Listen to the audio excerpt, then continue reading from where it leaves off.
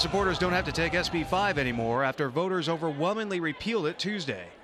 While Senate Bill 5 is dead, the groundswell of activism it generated lives on and will carry over into the 2012 cycle. Wednesday, Ohio Democratic Party Chairman Chris Redfern took aim at Governor John Kasich and Republican lawmakers for forcing the collective bargaining issue onto the ballot. Seems to be a disconnect among uh, some leaders at the State House that that janitors and police officers, that nurses, aides, and that firefighters aren't part of our state's economy. Republican lawmakers conceded that SB 5 was viewed by many voters as too extreme. Yesterday was the election, and I think the the people in Ohio spoke to overreach in a couple ways. Republican Congressman Steve Stivers says Ohioans were sending incumbents of both parties a message.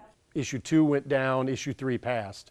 And both of those were responses to legislative overreaches. Even though the Democratic Party had urged a no vote, issue three passed with 66% of the vote. Many view it as a signal of continuing dislike of the new federal health care law.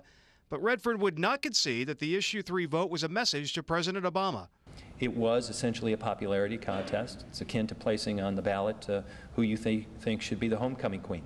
Governor John Kasich Tuesday night said he heard the voters on SB 5. They, they might have said it was, it was too much, too soon. Kasich acknowledged Tuesday night that the GOP may have overreached on SB 5 while making it clear that Ohio's budget problems have not gone away. We had a disagreement on this. The public has spoken.